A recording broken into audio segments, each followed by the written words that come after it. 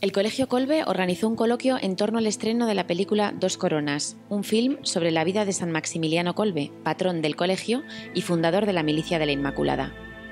El centro contó con la presencia del protagonista de la cinta, Adam Gronowicz, actor de origen polaco, así como de Jesús Maguregui y José María Alejos, quienes contribuyeron a presentar el contexto histórico en que se desarrolla la película.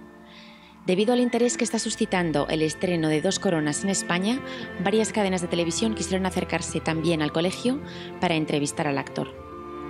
El acto fue introducido por la directora académica del colegio, Clara Fontana, y presentado y moderado por alumnos de secundaria y bachillerato, quienes también interpretaron una canción de origen irlandés.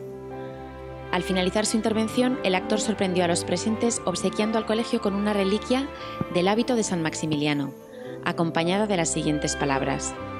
El padre Colbe no es solo una persona que muere por otra, sino alguien a quien rezar y pedir lo que vuestro corazón desea. Como colofón al acto, dos frailes franciscanos conventuales, orden a la que perteneció el patrón de nuestro colegio, acercaron al auditorio a la figura de Colbe.